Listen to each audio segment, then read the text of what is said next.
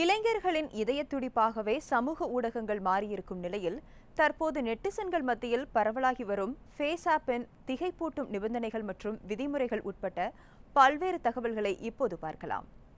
Ten years challenge போல கடந்த ஒரு வாரமாக ஏஜ் சேலஞ்ச் என்கிற ஹேஷ்டேக் உலக அளவில் வெகுவாக பிரபலமடைந்து வருகிறது. அதுதான் ஃபேஸ் ஆப் என்னும் செயலி. இரண்டாயிரத்தி பதினேழாம் ஆண்டே தோன்றியிருந்தாலும் திடீரென பிளே ஸ்டோரில் நூறு மில்லியன் தரவிறக்கங்களை பெற்றிருப்பதற்கு காரணம் இந்த செயலியின் டூ பாயிண்ட் ஓ வெர்ஷனும் அது நடைமுறைக்கு வந்தவுடன் செய்த விளையாட்டுகளும் தான். இளமையான முகத்தை நிஜமாகவே வயதான தோற்றம் போல காட்டுவதுதான் அந்த விளையாட்டு. இதற்கு விளையாட்டு வீரர்கள் நட்சத்திர பிரபலங்கள் என தொடங்கி நண்பர்கள் வரை யாரையும் விட்டு வைக்கவில்லை நெட்டிசன்கள்.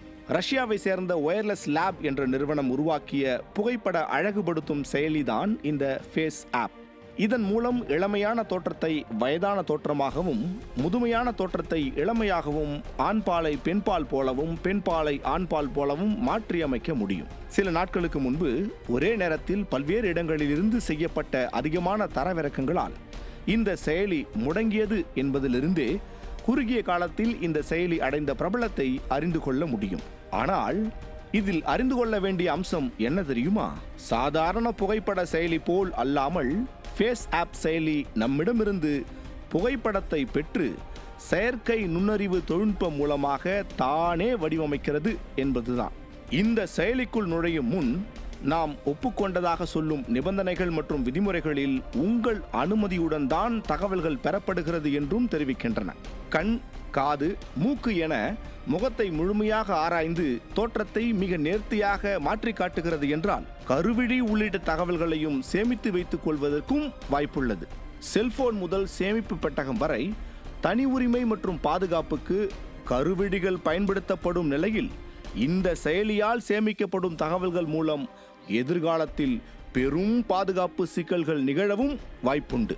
நியூயார்க் நகரை சேர்ந்த ஜனநாயக கட்சியின் சக் ஷிமர் தேசிய பாதுகாப்பு மற்றும் தனி உரிமை அபாயங்கள் குறித்து தெரிவித்த அறிக்கையில் இந்த ஃபேஸ் ஆப்பை விசாரிக்க வேண்டும் என எஃபிஐ ஆணையத்தை வலியுறுத்தி உள்ளார் என்பதும் இங்கு குறிப்பிடத்தக்கது. மேலும் தகவல்கள் ரஷ்ய நிறுவனங்களுக்கு விற்கப்படுவதாகவும் நாட்டின் எதிர்காலத்திற்கு பெரும் கேடு விளைவிக்கும் என்றும் அவர் தெரிவித்திருந்தது. நம் சந்தேகங்களுக்கு வலு சேர்க்கிறது. இந்த மாதிரி டேட்டா ஸ்டோர் பண்ணுறதுனால எனக்கு என்ன ஆக போகுது? என்னோடய ஃபோட்டோவை ஸ்டோர் பண்ணி வச்சுருக்கிறதுனால என்ன ஆகிட போகுதுன்னா அது வெறும் சாதாரண ஃபோட்டோ இல்லை அது இன்ஃபர்மேஷன் அதுதான் நம்ம முக்கியமாக பார்க்க வேண்டிய ஒரு விஷயம். என்ன information classified your face detection அல்காரிதத்துக்கு நீங்கள் கிளாசிஃபைட் டேட்டா செட்ஸை கொடுத்துக்கிட்டு இருக்கீங்க. ஃபேஸ் டிடக்ஷன் ஃபேஸ் டிடக்ஷனில் என்னென்ன பிரச்சனை இருக்குது டீப் ஃபேக் அப்படின்னு ஒரு டெக்னாலஜி இருக்குது டீப் ஃபேக்குன்றது என்ன? அதனால் என்ன நடக்க போகுது? நான் பேசாத ஒரு விஷயத்த நான் பண்ணாத ஒரு சொல்லாத ஒரு விஷயத்த நான் சொன்ன மாதிரி ரியாலிட்டியாக அந்த வீடியோவை என்னால் ஷோ பண்ண முடியும். ஏன்னா நம்ம கவர்மெண்ட் ப்ரைவசி ஆக்ட் ஃப்ளோ பண்ண போகிறாங்க அந்த கட்டத்தில் நம்ம மு முன்னேறிக்கிட்டு இருக்கும்போது இந்த மாதிரியான ஒரு விழிப்புணர்வோடு நம்ம செயல்படணுன்றது ரொம்பவே முக்கியம். பிரச்சனை வந்த பிறகு கண்ணீர் விடுவதை விட வருமுன் காப்பதே ஒரு புத்திசாலித்தனமான குடிமகனின் செயல். தற்சமயம் உலகளவில் ட்ரெண்டாகி வரும் ஃபேஸ் ஆப்பை பயன்படுத்துவதற்கு முன்னால் அதன் நிபந்தனைகள் மற்றும் விதிமுறைகளை நன்கு ஆராய்ந்த பின் பயன்படுத்துவது பாதுகாப்பானதாக இருக்கும். நியூஸ் ஜே செய்திகளுக்காக ஒளிப்பதிவாளர் ஆண்ட்ரோவுடன் செய்தியாளர் கண்ணதாசன் கலிய பெருமாள். இது போன்ற முக்கிய வீடியோக்களை உடனுக்குடன் தெரிந்து கொள்ள நியூஸ் ஜே யூடியூப் சேனலை சப்ஸ்கிரைப் செய்யுங்கள்.